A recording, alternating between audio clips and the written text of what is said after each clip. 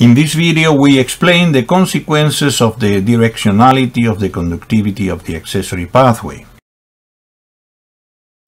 As already explained, accessory pathways can conduct only in the anterograde direction or both in anterograde and also retrograde direction or finally only in the retrograde direction.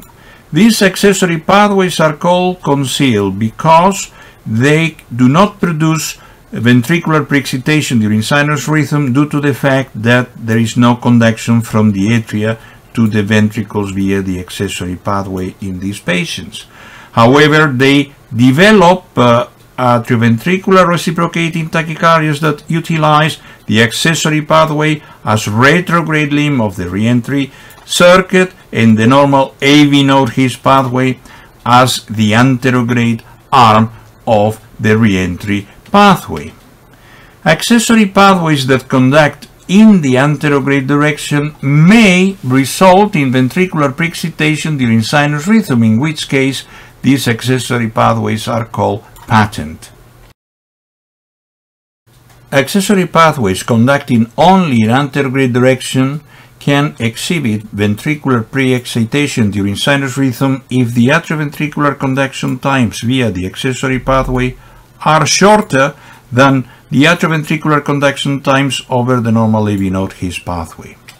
These patients may also develop a form of atrioventricular reciprocating tachycardia that is called antidromic because atrioventricular conduction during this tachycardia is via the accessory pathway while the normal AV node His pathway is used for retrograde conduction.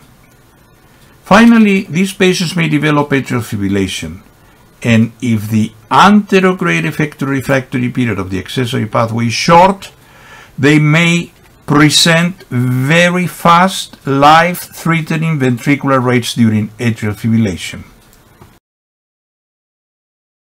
Patients with accessory pathways conducting both in the anterograde and retrograde directions may exhibit ventricular pre-excitation during sinus rhythm if the atrioventricular conduction times via the accessory pathway are shorter than the atrioventricular conduction times via the AV node His pathway. They can also present a non-pre-excited form of atrioventricular reciprocating tachycardia that is called orthodromic because ventricular activation is via the normal AV node His pathway, while the accessory pathway is used for retrograde ventricular atrial conduction.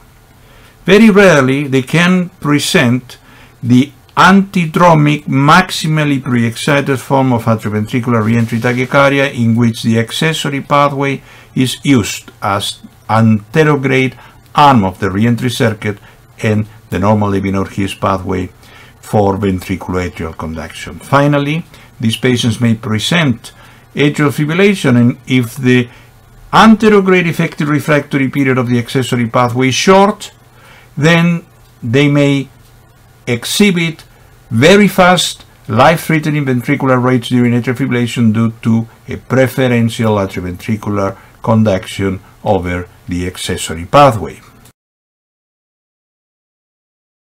Patients with concealed accessory pathways capable only of retrograde conduction do not exhibit pre-excitation during sinus rhythm because of the inability of the anomalous bundle to conduct in the anterograde direction. These patients, however, present frequently the orthodromic form of atrioventricular reciprocating tachycardia using the accessory pathway as retrograde arm of the circuit and the normal His pathway as the anterograde limb of the reentry mechanism. The next video is on the proximal and distal insertions of the accessory pathway.